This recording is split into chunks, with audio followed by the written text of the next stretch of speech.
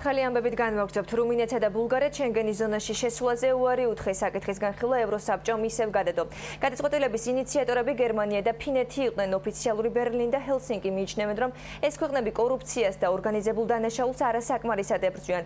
ევროსაბჭოს გადაწყვეტილებას რუმინეთსა და ბულგარეთში საპროტესტო აქციებით შეხვდნენ.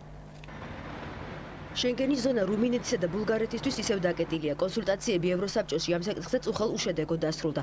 ევროკავშირის საბჭომ საკითხის წლის ბოლომდე გადადება გადაწყვიტა, რათა ყველა შესაძლო შედეგი კარგად აწონდაწონოს.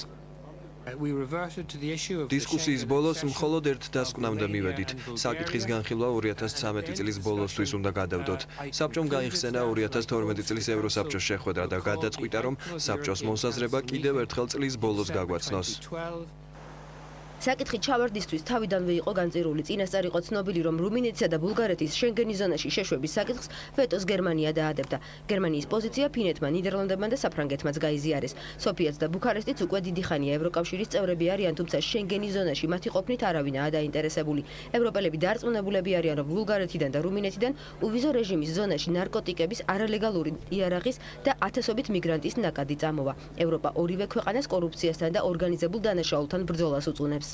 Wir haben immer gesagt, როდესაც ჩვენ შენგენის დებულების კრიტერიუმების სრულ შემოწმებას ვახდენთ ბულგარეთისა და რუმინეთის განვითარებასთან დაკავშირებით ყოველთვის განსხვავებულ ანგარიშებს ვიღებთ. ჩვენ აღვნიშნეთ უმთავრესი მიღწევები განსაკუთრებით ბულგარეთში. გონია რომ ორგანიზებული დანაშაულის წინააღმდეგ ბრძოლა საგრძნობლად პროგრესირებს. ორივე ქვეყანაში ძალიან დიდი პროგრესია, თუმცა არსებობს სუსტი მხარეებიც. სწორედ ამიტომ ვფიქრობ რომ შენგენში გაწევრიანების დრო ჯერ კიდევ არ დამდგარა. Gute Fortschritte macht.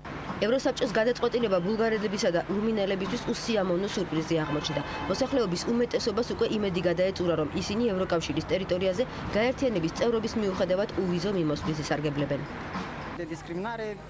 ჩემი აზრით საქმე დისკრიმინაციასთან გვაქვს. მათ ეშინიათ ჩვენი. ისინი ფიქრობენ რომ საზღვრის გახსნისთანავე ჩვენ ყველანი გადავლახავთ მას და ევროპის ქვეყნებს მასიურად მოვედებით. ეს ასე არაა. ჩვენ სულაც არ გსურს რომ მოხუცებს ვუაროთ.